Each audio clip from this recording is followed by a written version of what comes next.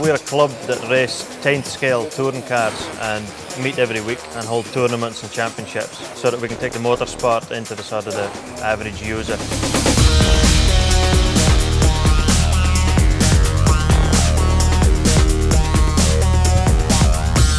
Track we use is quite portable, it's just light plastic and we have a carpet rolling machine, we roll all the carpets onto one unit. It takes roughly 30 minutes to set out the whole track and we usually hire the hall for about three hours so we get in a lot of series of races and then it takes about 15 minutes to tidy up.